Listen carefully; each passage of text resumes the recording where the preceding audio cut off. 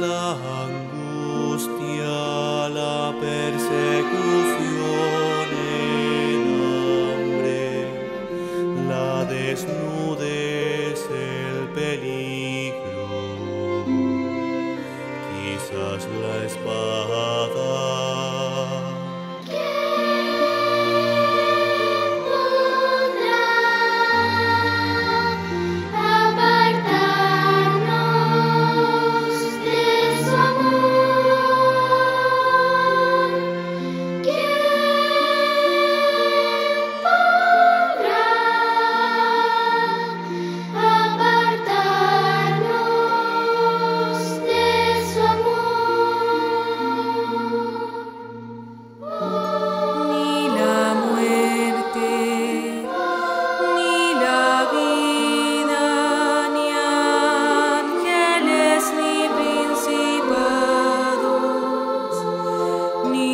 presente.